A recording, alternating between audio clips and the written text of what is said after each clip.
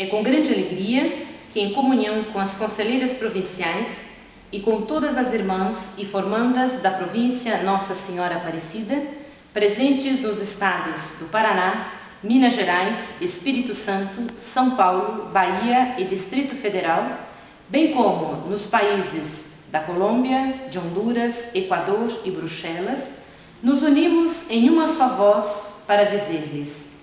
sejam todas bem-vindas.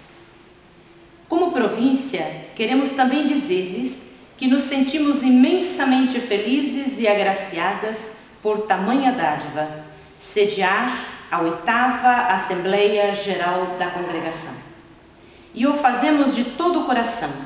colocando-nos inteiramente à disposição de todas e oferecendo todo o suporte necessário em vista do bom êxito deste significativo evento congregacional,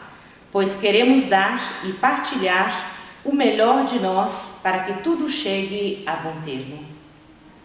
Com esta Assembleia, iniciamos um tempo particular para a vida da congregação, um tempo favorável de revitalização e busca de novas perspectivas.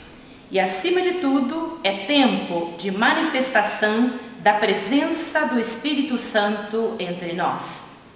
Por isso, queremos acolher esta hora privilegiada, o grande Kairós de nosso Deus, numa atitude de profunda fé, pois a fé nos permite contemplar a realidade com os olhos de Jesus Cristo, o qual ilumina o nosso peregrinar cotidiano. Ao mesmo tempo, a fé nos permite descobrir que nunca atravessamos a realidade da vida humana sozinhas, mas sempre acompanhadas, inspiradas e fortalecidas pelo Espírito que o Pai nos envia através de Cristo. Faço votos de que no decorrer desses dias possamos sentir de forma intensa e operante a presença misericordiosa de Deus do qual provém toda a boa dádiva e todo o dom perfeito. Mostra-nos os teus caminhos, Senhor. Numa época de profundas e sucessivas mudanças socioculturais que afetam nosso mundo, trazendo novos e sérios desafios para nossa missão escalabriniana, somos convidadas, uma vez mais, a viver este evento em profunda comunhão e em sintonia com todos os migrantes e refugiados,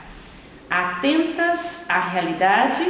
e procurando discernir nos desafios os sinais dos tempos, na fidelidade à missão, na abertura aos novos apelos do Senhor, na vivência e fortalecimento de nossa identidade própria, para assim dar maior visibilidade ao carisma escalabriniano e ser sinal do reino de Deus, de testemunho e de profecia.